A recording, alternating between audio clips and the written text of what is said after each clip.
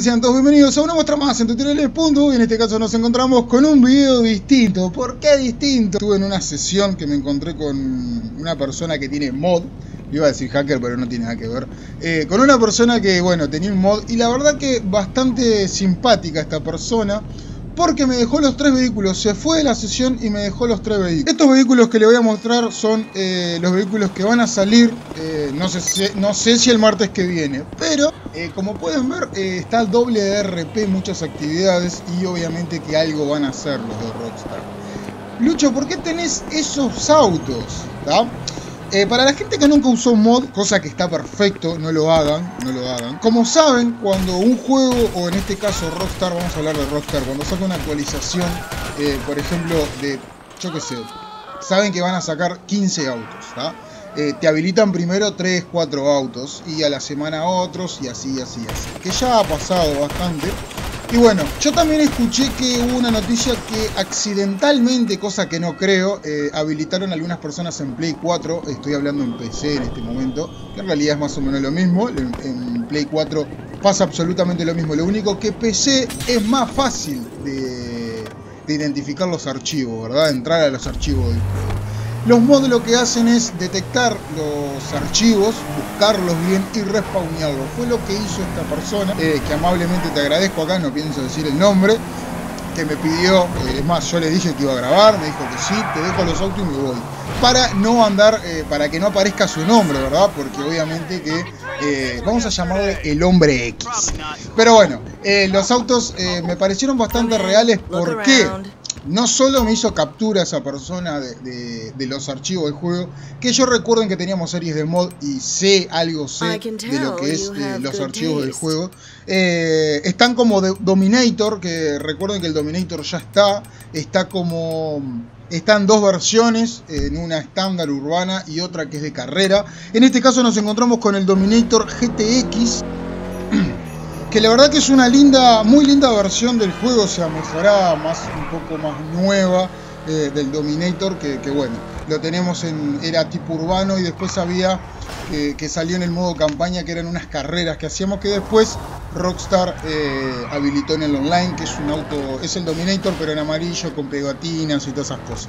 Después tenemos eh, una versión mejorada del Chester, la verdad que en los archivos del juego no está bien. ¿Cómo se va a llamar?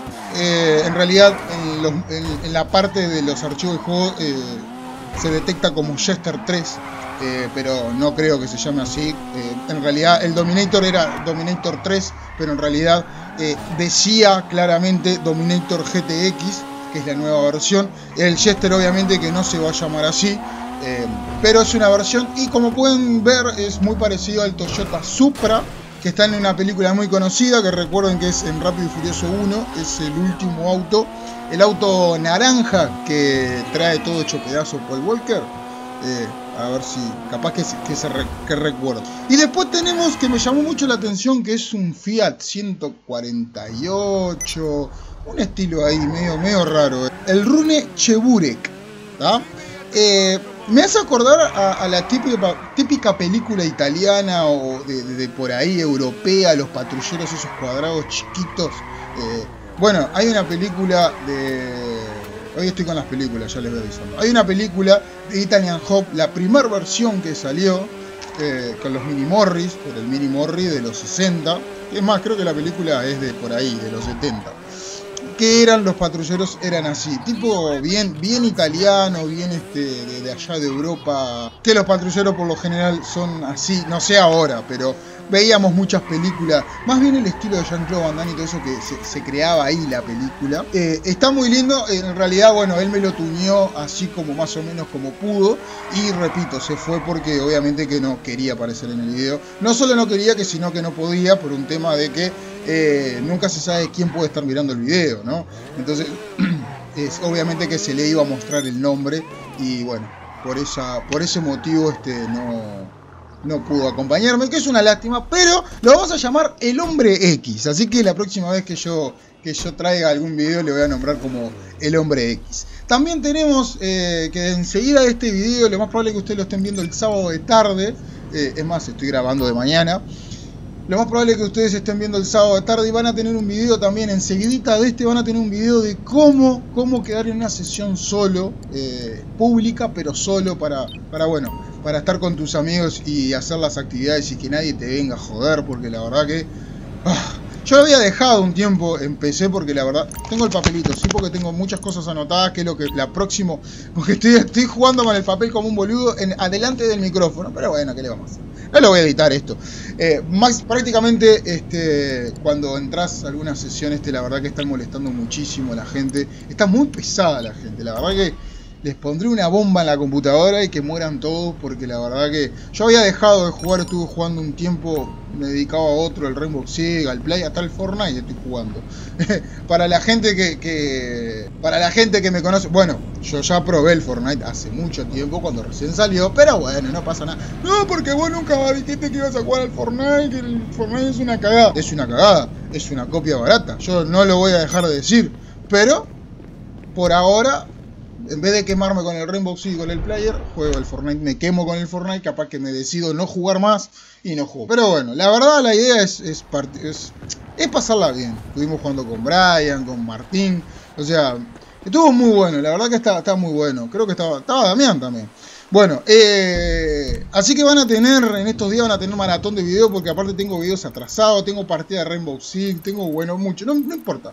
Eh, aclarando un poquito, no me quiero ir por las ramas, porque eh, esto es un video de GTA y la idea no es andar trayendo información.